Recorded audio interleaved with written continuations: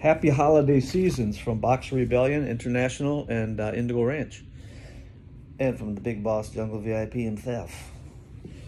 So uh, today's my mom's birthday, my wife's birthday, and it's the uh, last seminar of the year in Grand Rapids, Michigan, plus Christmas party at Blues Gym, um, hosted by Billy Blue himself, Dino Newville, and Michael Russo.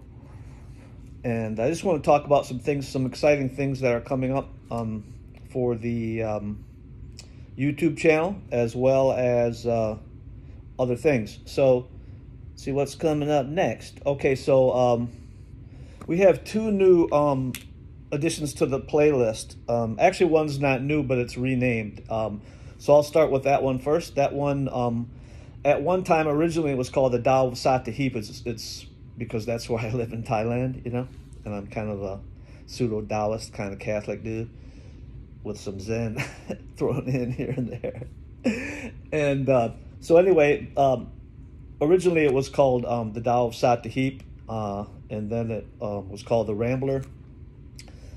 And um, although that's still a title in, in the um, channel itself, it's no longer a title for that podcast uh, show that will be a dialogue interview um, called From Concepts to Reality. And it should be really interesting. Uh, so far, Dwight Woods was the inaugural um, dialogue partner, and that was like, shit, almost three years ago that we did it. So uh, he'll be back on, and various other uh, interesting folks that you're that you're aware of, and uh, some that you aren't, aren't aware of. And uh, another big one, um, addition to our uh, playlist and podcast, which is new, is the Ronin's Notebook.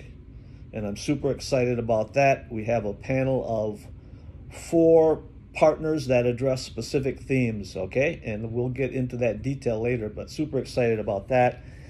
Uh, April and May, I kick off my Asia and Australian tour. Um, yeah, it'll be for two months straight, so I'll be gone for two months and then back home to Sattahip which will I'll start preparing for um, August 16th through the 18th. My first um, Boxer Rebellion Asia Pacific Hungry Ghost World Training Camp in Sattahip, Thailand for three days.